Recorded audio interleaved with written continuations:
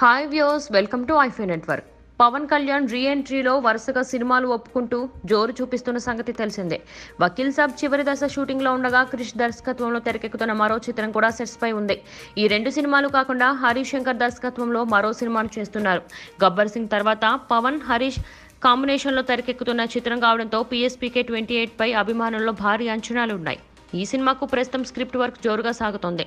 ఈ కథ గురించి సినీ వర్గాల్లో ఒక ఆసక్తికరమైన రూమర్ చక్కర్లు కొడుతుంది. ఈ కథను హరీష్ మొదట ఎన్టీఆర్కు వినిపించారని అయితే ఎన్టీఆర్కు పెద్దగా నచ్చకపోవడంతో నో చెప్పారట.